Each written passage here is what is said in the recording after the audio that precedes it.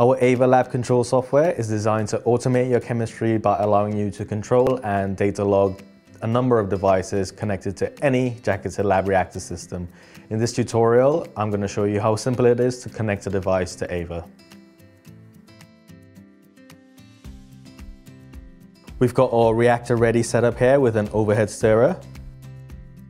And we're also going to connect a Heidolph peristaltic pump and a Sartorius balance for gravimetric liquid dosing into the reactor. All of these devices are connected via RS-232 cables to the back of our data hub, and the data hub is connected to your laptop with the Ava software installed via an Ethernet cable. Once everything is connected, you are ready to set up your devices with Ava. Firstly, open the software, click on the Reactor Ready template from the list of available options, and then hit Create. To add a device, go to the apparatus window, click on the box and select the make and model of the device you want to add. In this case, we'll add a Radley's overhead stirrer.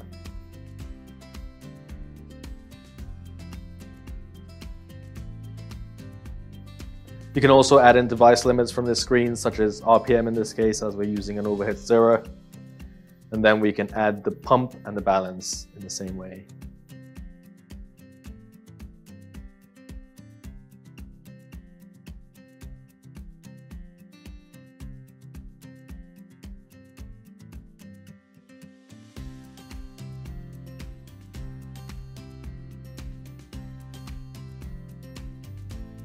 Now we can start our overhead stirrer by clicking the start button.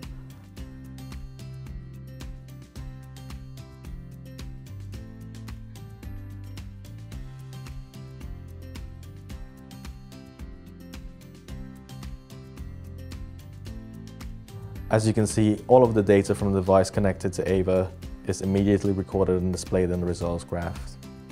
And then we can start our liquid dosing by starting the pump clicking the start button.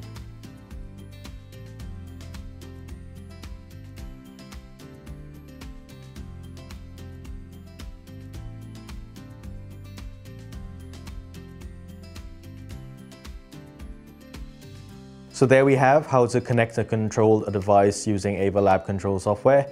If you want to find out more, check out the rest of our tutorial series or head over to our website to find out more information or to download a free demo copy of our software for you to try for yourself.